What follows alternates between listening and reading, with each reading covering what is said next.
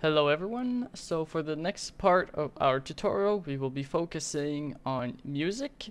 So here I have my project that I started in the earlier tutorials.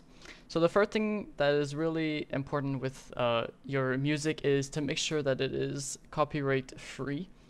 You do not want to have uh, music that has copyright um, like legal terms on it because uh, what will happen is when you will upload your video onto YouTube it will uh, get removed uh, or simply the music will be removed from your video because it will have uh, copyrights on it. And you really don't want that so you want to find music that has no copyrights. Uh, the format that we usually go for is mp3 that's usually the one that goes um, the best for these types of videos. It's the one that we recommend and that's like um, that take the less space for your videos so they'll be easier to upload with MP3s.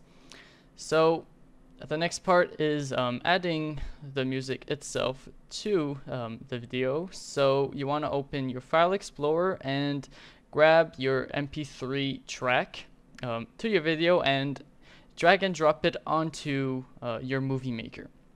So what will happen here is it will not take uh, the full size of your video. So you want to grab the green line and um, you can move it around to the length you want if you want to put more than one MP3 file into your video. But usually you want it to have from the start to the finish of your video.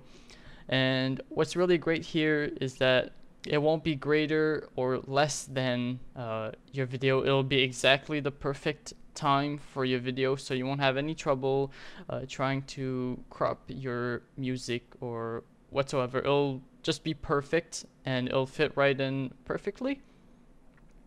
So the next part of what we will be doing is um, well you can try out your video uh, you'll you can listen to it you'll hear the music go along with it uh, it's usually recommend doing that to see if the music fits with your video. Um, make sure you try to take a music that fits the style of your video. So here we're kind of in fantasy video games, so we're taking a track that fits with this this theme.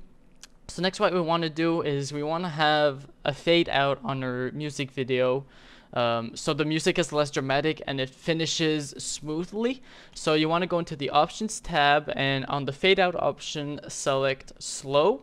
What will what this will do is when your video will end, the music will slowly um, become quieter. And same thing for the start. You could go into the um, same options and the fade in also put it to slow. What this will do is when your music video will start, instead of starting really dramatic, it'll slowly go up um, to the maximum volume. So it'll be easier for the viewers to get into the video. It'll make it less dramatic and like, oh my god, music right in your face.